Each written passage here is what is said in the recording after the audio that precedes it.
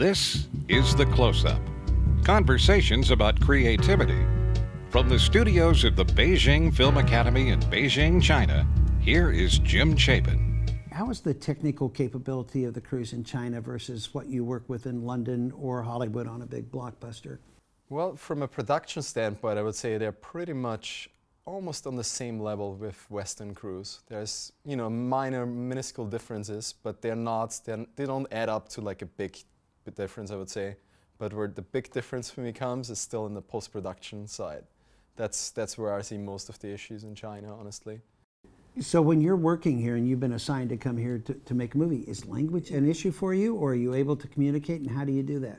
Um, you know, in Hong Kong films, it's been easier to be honest. Um, there's, you know, at least above the line people, the directors, the producers, the cinematographer, those guys I have no issues communicating with, but when it becomes to, comes to below the line, camera crew, some of them, you know, it's very difficult to communicate with. It works out in the end. When you're looking to bring people on to work for you, what do you look for? Well, first of all, I think the most important one is passion. If you don't have passion in what you're doing, then it's maybe not the right thing for you. So I think passion first and foremost, dedication. Someone we both admire tremendously, Ang Lee, who just finished shooting Billy Lynn's Long Halftime Walk in Atlanta with a friend of ours, Demetri Portelli, uh, in 3D, high frame rate, 120 frames per second, digital.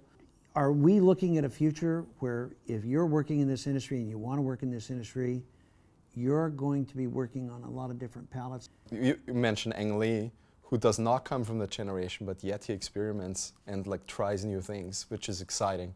And then you have this new generation of filmmakers who are just entering and they grew up in the digital realm. For them, film is something, you know, they probably might not have seen. Some of them do in film school, you still do some film, but in general, I think it's going to produce a lot of interesting content with people that come from that sort of background and have digital sort of in the blood and, you know, are able to maybe open up and experiment more, have been experimenting their whole life with digital.